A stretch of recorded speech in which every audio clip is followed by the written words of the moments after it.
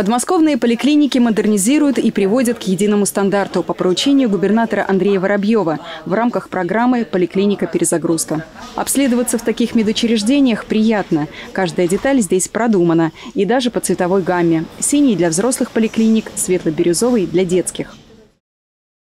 Мы направляем значительные ресурсы в модернизацию стационаров и, конечно, поликлиник. Еще несколько лет назад мы говорили, что у нас каждый день в поликлинике приходят 120 тысяч человек, а сейчас эта цифра возросла уже до 200 тысяч. Поэтому мы не имеем права разочаровывать людей. Просторно, светло и уютно. Центр диспансеризации Одинцовской областной больницы встречает пациентов без очередей и толкучки.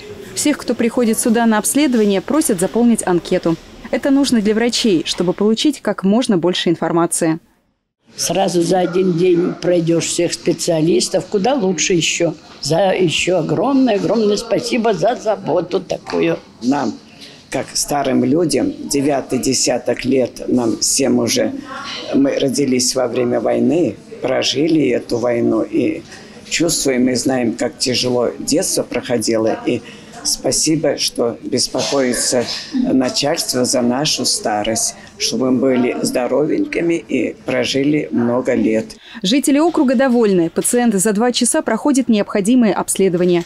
Блок диспансеризации оснащен маммографом и флюорографом, аппаратом УЗИ, а также другим диагностическим оборудованием. С апреля здесь прошли диспансеризацию более пяти тысяч пациентов. Каждый случай индивидуален. Врачи не упускают деталей.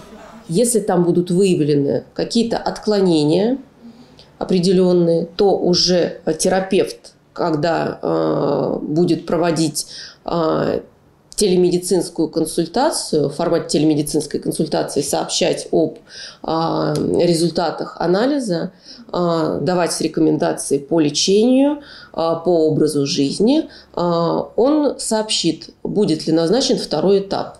Сегодня в Центр диспансеризации приехали жители поселка Лесной городок. Для них поездку организовал депутат «Единой России» Алексей Солдатенко.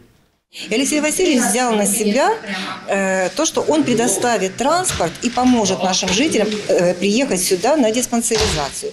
И вот как раз через наши общественные организации мы говорим э, с нашими э, жителями о том, что есть такая возможность приехать, собраться все вместе и пройти диспансеризацию. Пациенты из лесного городка прошли обследование быстро. Им провели все необходимые диагностические мероприятия от процедуры измерения глазного давления до флюорографии и маммографии. В конце все они получили памятки и сувениры, а также пообщались с депутатами «Единой России». Действительно, это очень здорово, что появился такой центр. Он дает возможность в одном месте а, провести а, полное обследование, ну и обратить внимание на те или иные проблемы. Поэтому мы действительно очень рады, что он открылся, и будем надеяться, что от этого э, все мы, и вы, и мы будем более здоровы.